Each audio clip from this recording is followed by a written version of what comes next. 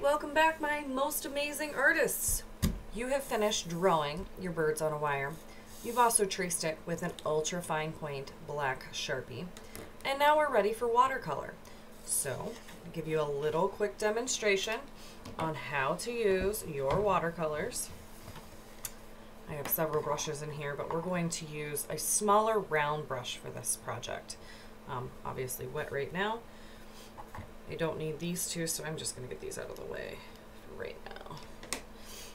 When you first get started on your tray, water container, dirty side, clean side, paper towel always stays on the tray. And then your watercolors. These are dry right now, though they look a little wet. They're not.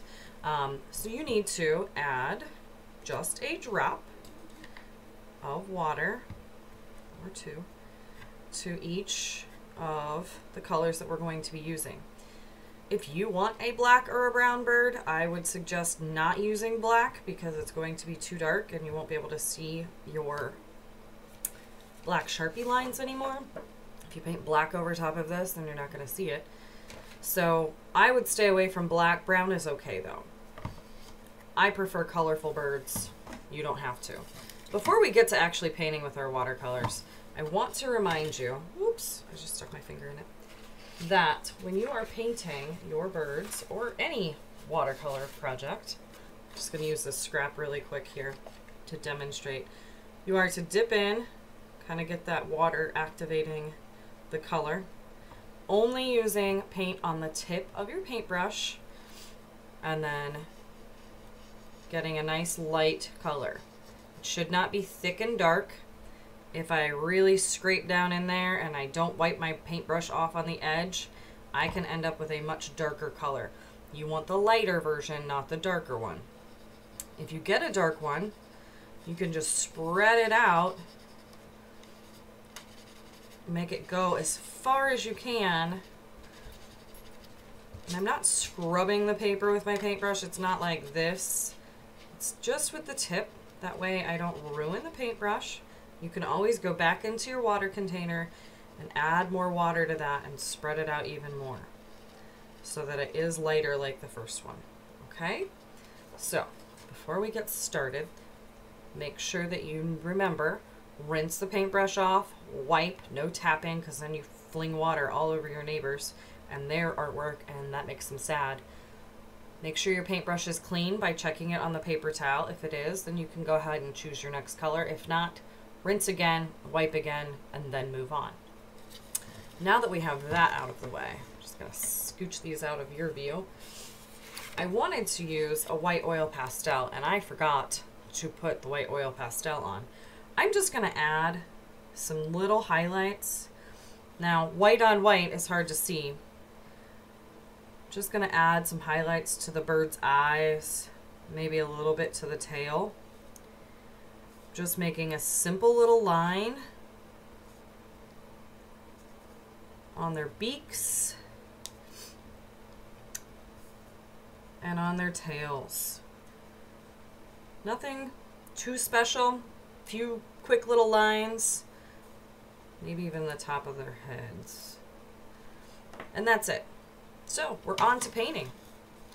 If you choose not to use oil pastel, it's totally fine completely optional. All right, I'm dipping in the water. I'm going to start out with a red bird over here. Now, since we have added our details already with our Sharpies, we have to be super careful not to get red into our eyes or whatever color we're choosing to use. The good thing about using watercolor paper is it will absorb into the paper really quickly.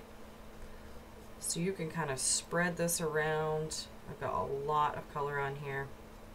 Just going to kind of move it over so that my bird has color on both sides pretty evenly.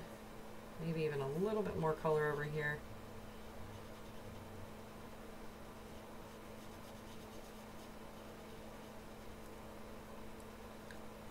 The good thing is you can go right over where you added oil pastel and over top of your black Sharpie lines. No need to paint around them because they still show up because they're so much darker than our watercolor. Just need a little more water in my red to finish out in between his eyes here. Go very slowly and carefully. Hopefully you drew your birds large enough that painting them in isn't too difficult. And there you have it, bird number one done. I'm gonna finish this really quickly with a couple other colors. Actually gonna show you on this one. I'm gonna go ahead and add green and I'm gonna kind of fade my green bird. Lots of water here. I'm gonna add, clean my brush out, show you how you can mix colors right on your paper. I'm gonna take blue and I'm gonna add it right into my green so that my bird has two colors. He's a blue-green bird. And these will kind of puddle and mix together. But that's what I'm going for this time. Usually we don't want our colors mixing that much. But this time I do. Because I wanted to mix the colors right on my paper. I'm just going to go down here paint his tail in. Then, since I mixed colors on my paper, I'm going to go ahead and clean my brush out, make his head a little more blue.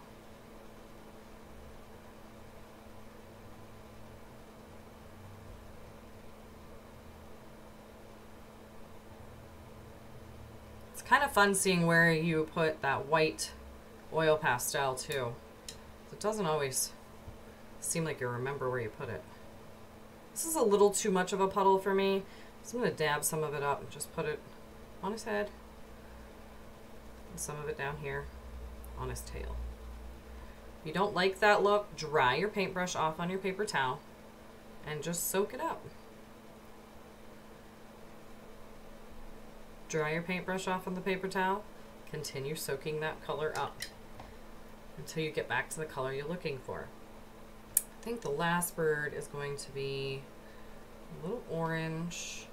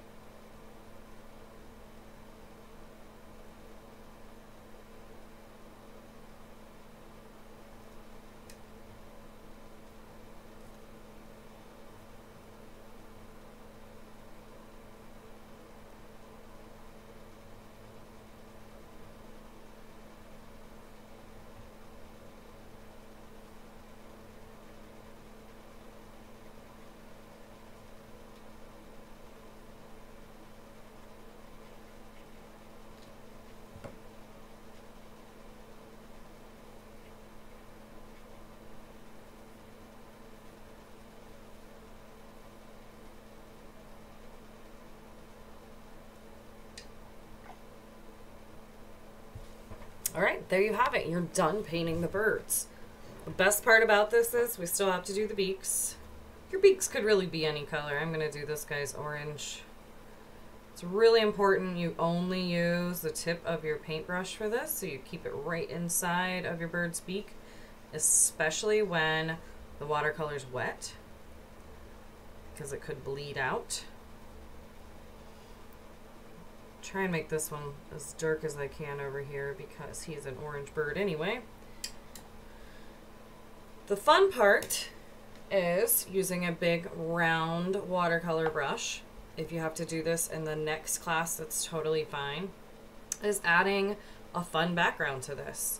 I think I'm gonna just really get my purple wet, kind of load up my paintbrush, but mostly with water, and make the sky a purple color.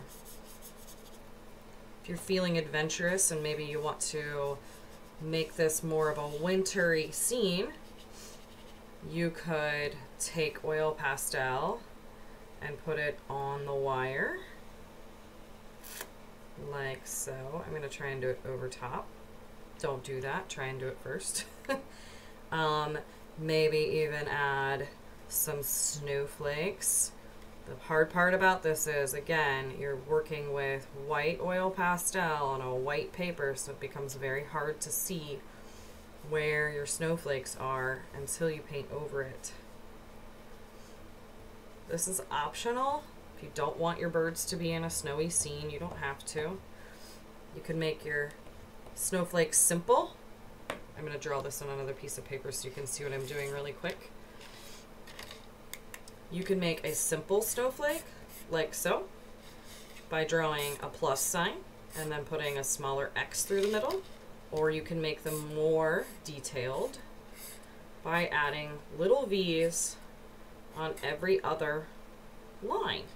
You could do even every line if you wanted to to make it really fancy, but it's harder with an oil pastel than it is with a Sharpie or a pencil because you can see where this is going and that is such a thicker tip than my Sharpie line would be. So I'd have to draw them really big. I think I'm going to add just a couple arrows here. You could even use a blue oil pastel for this so that it's easier for the kids to see while they're working. All right, let's see what I did here. Ooh, that's really dark. Okay, sometimes this happens where we end up with a really dark purple. Just dip your paintbrush back into your water container, come right back to your paper, and spread that color out. You want it to be light like I had on the left, not dark like I have it right now. So I got too much color, not enough water. So I'm just gonna spread that color around. Only adding water to my paintbrush right now because I don't need any more color. There's plenty on my paper to use. Be careful going around the details of your birds.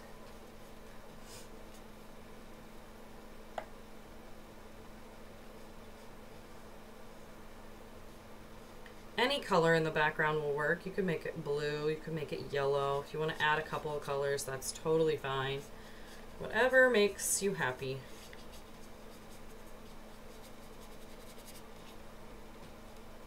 Oops, I dripped on my bird's eye. I'm just going to wipe it up, blot my finger off on the paper towel.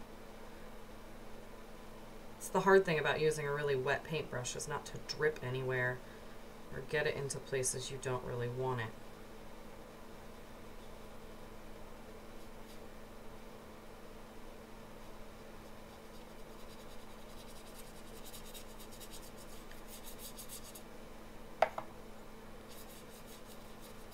I have not gone back into the purple since I made this big purpley mess over here.